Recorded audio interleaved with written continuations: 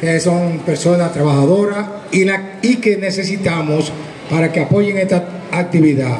A través del apoyo suyo, esta actividad va a llegar a todo el pueblo, que es lo que queremos. Esta es una actividad popular y en la cual nosotros los que estamos aquí, este equipo, este eficiente equipo de las fiestas patronales, trabajamos de manera honorífica para llevar a cabo la organización y el montaje. Somos personas que lo único que tenemos es la vocación de servicio. En este año tenemos una nueva integrante y vaya a ver quién es. Nuestra queridísima Laura Ramos, que ella es la jefa de la comisión de reinado. Esa es la nueva adquisición. De igual manera, nosotros queremos invitar a todos los jóvenes que se sumen que se sumen a lo que es el comité organizador para que las fiestas patronales siempre sean las mejores y que sean de nosotros. Tenemos varias novedades este año. Esta es Rosario 2024. Entre esas novedades tenemos de que el calendario se va a cortar.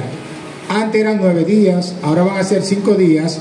Eso quiere decir que nuestras fiestas patronales comenzarán el día 3 de octubre y finalizarán el día 7, día de Nuestra Señora del Rosario. Eso es lunes. Ahora, el por qué queremos hacer ese cambio es que tenemos un promedio de 5 años que tenemos dificultad con lo que es el patrocinio de tres días, que son los lunes, los martes y los miércoles. Pero también queremos ser algo más novedoso, mejor como dicen popularmente, vamos a coger esos cinco días y vamos a darle duro para que el pueblo disfrute de sus fiestas patronales. De igual manera, tenemos de que hay dos eventos que siempre lo hemos hecho, que son la presentación de las candidatas y luego la elección. En este año tenemos una novedad. Esos dos eventos lo hemos fusionado en uno.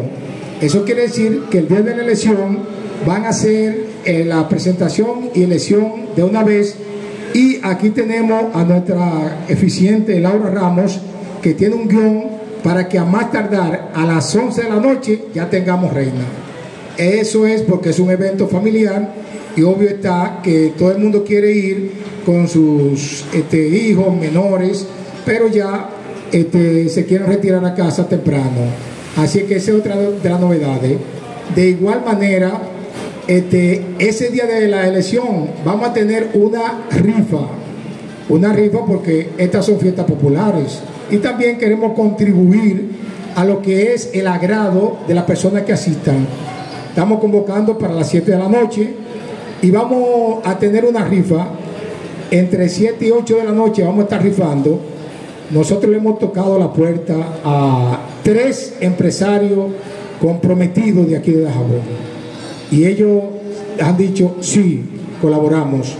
Para eso, hoy vamos a anunciar de que el día de la elección de la reina vamos a tener una rifa y vamos a rifar ahí mismo, valga la redundancia, un motor. Un motor para los asistentes. Van a, todos van a pagar su cover, que va a ser 100 pesos. Y esos 100 pesos le da el derecho a estar en la actividad y a participar de la rifa. Pero además, es, perdón, ese motor es cortesía de Camilo Motor Import, un empresario joven, comprometido con el deporte, la cultura eh, de nuestro pueblo. De igual manera vamos a tener, vamos a rifar lo que es una lavadora. Esa lavadora es cortesía de Tano Comercial. Tano Comercial, la grandota, no hay otra, la grandota de aquí de Jabón. Y tenemos también este, tres órdenes de compra con valor de 5 mil pesos cada una, cortesía del sub. Eh, esas son de las novedades que le estamos este, reseñando, pero hay otra que es el recibimiento. El recibimiento va a ser el sábado 5 de octubre y lo vamos a hacer por primera vez en la explanada del Parque Duarte. Ahí va a estar porque eh, tenemos quejas de los ausentes de que el calor eh, que la congestión que se hace y allí vamos a estar más esparcidos, vamos a tener sombra y le vamos a buscar forma para que ellos puedan almorzar, porque muchas veces vienen y la comida nos queda, o sea, lo que tenemos diseñado para ellos y queremos es esmerarnos ese día y brindarle su almuerzo y bueno, y con su familia, con las autoridades. También va a haber una mesa disponible para que las autoridades puedan compartir con los ausentes. Fiestas patronales, Rosario 2024. Eh, vamos a tener una comisión de transmisión también para los que por una por X razón no puedan asistir personalmente, que nosotros creemos que se va a desbordar el pueblo porque se va a apoyar como siempre estas actividades, pues que lo puedan ver en su casa y tenemos a Claudia Carolina Caraballo conjuntamente con Jesús Carrasco, quienes van a encabezar la comisión de transmisión. Esto quiere decir que nos estamos asegurando que el pueblo de una manera u otra participe activamente en estas tradicionales fiestas este, patronales. con la iglesia, este año fusionamos lo que era enlace con la iglesia con Reinado y esa actividad le va a corresponder a nuestra queridísima Laura Ramos. Para que actuemos sincronizadamente en muchas de las actividades apoyándonos porque ya saben ustedes que el día 28 van a ser alborada que nosotros vamos a estar presentes con la iglesia. Ese día pues es a las 5 de la mañana que nos vamos a levantar y tenemos que apoyar. Bien eso, ellos quieren ver las estrellitas, subirse en los caballitos, también. Ya antes de ayer, conjuntamente con el cargado de finanzas, ya hicimos el contrato para los juegos mecánicos. Vamos a solicitar el cierre de esa calle para que sea peatonal por los días que van a durar y para que no tengamos este contratiempo con ellos. Pero lo que sí queremos es que tanto los grandes como los pequeños también disfruten de sus fiestas patronales, porque hemos tenido mucho dificultad con eso. Iniciar las fiestas patronales el día 5, vamos a concluir el día de Nuestra Señora de la Altagracia el lunes 7 y desde aquí nosotros convocamos al pueblo de Jabón para que estemos en un espacio donde podamos sentir la vibra, la alegría y dando ese abrazo de confraternidad con los ausentes que llegan. En fin, nosotros lo que queremos es esmerarnos para que Dajabón tenga una super fiesta patronales. Nosotros le vamos a pasar los micrófonos. Eh, bueno, quiero presentarles de inmediato a las personas que hemos em, pues invitado a sí mismo a ser parte de la comisión de reinado. Eh, me acompaña mi querido Miguel Esteves, quien es un joven eh, jabonero, pues como todos sabemos muy talentoso, quien le pone siempre la milla extra a lo que hace. Gracias Miguel por aceptar estar en esta comisión. Asimismo, Juliana Cordero, está, creo que está por acá, Juliana está acompañándonos también en esta comisión y Ana Corniel, quien fue, ha sido reina de carnaval y reina de Miss Rosario también, estará específicamente ella en la parte docente, en la parte de las clases de formación de pasarela de las jóvenes. Eh, bueno, eh, el comité ha elegido, eh, conjuntamente con la comisión de reinado, un tema muy especial que nos concierne y que todos los jaboneros yo sé que amamos y nos llega muy profundo que es el tema del medio ambiente, enfocado específicamente al cuidado de nuestro río Masacre, que está en peligro por la contaminación, eh, por la deforestación eh, y muchísimas otras cosas que vamos a abordar, que es el tema que hemos eh, elegido para trabajarlo en este reinado y durante todo el año.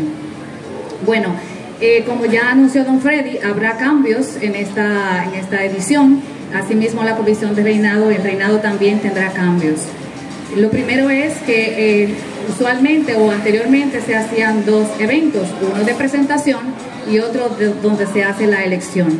Vamos a fusionar y estaremos haciendo un solo magno evento y ya les, les diré cuándo. Lo primero que vamos a hacer eh, hoy, esta noche, vamos a lanzar la promoción para captar candidatas.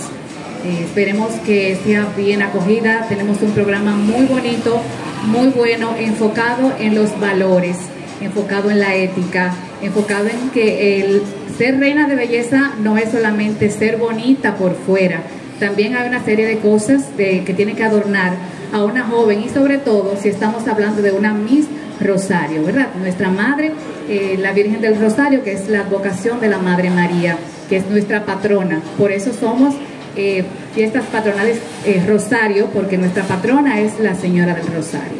Entonces buscamos jóvenes, estamos abiertos que todas vengan, que todas quieran aplicar. Hay un programa hermoso de formación donde van a aprender muchas cosas interesantes. Eh, vamos a hacer un media tour a partir de esta noche y, la promoción que la vamos a mostrar en un momento. Eh, luego de esta promoción tendremos casting el próximo sábado 24 de agosto. Sábado 24 de agosto en el Centro Cultural En Sueño de Jabonero habrá un la comisión tendrá un personal especializado para trabajar ese casting desde las 9 de la mañana hasta las 12 del mediodía. Así que ya saben, chicas, a prepararse porque vienen cosas muy bonitas.